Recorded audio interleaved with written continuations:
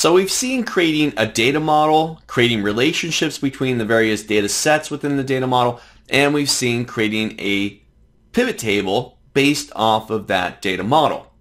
Now let's take a look at getting back into the data model and creating calculations within the data model environment. Let's take a look. I've got the example file back open here. I'm still sitting on the newly created pivot table based off of the data model that we've created. I'm going to go up to my Power Pivot tab, and on the far left, I'm going to go back into Manage. This will reopen up the Power Pivot environment where I've got my multiple data sets and the relationship. So now I want to create some calculations based off of this data. We've seen how to create calculations inside of a pivot table, but that's in the pivot table environment. That's not a part of our data model. So I'm currently on the order info tab within my data model. And I can see all my data up above. Down below, I've got a few rows that are really reserved for calculations that I want to create based off of this data. For example, we saw how we can create an average freight back inside of the pivot table environment. But let's take a look at how you can do an average freight within the data model. So I'm going to hop over to my freight column. Really doesn't matter where, just as long as I'm inside the freight column. Inside the freight column, I'm then going to go to my home tab, top of my screen.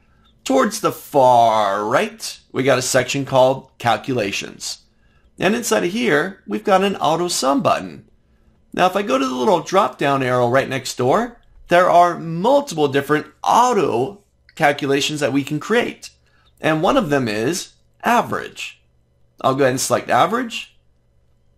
And I've now got an average freight, right, of that column, which is $72 and roughly 24 cents. Average freight among all the orders within this data set. Just a couple clicks of the mouse. Nothing big. You know, maybe I want to count how many employees we have inside of here or how many customers have placed orders inside of this, this orders table.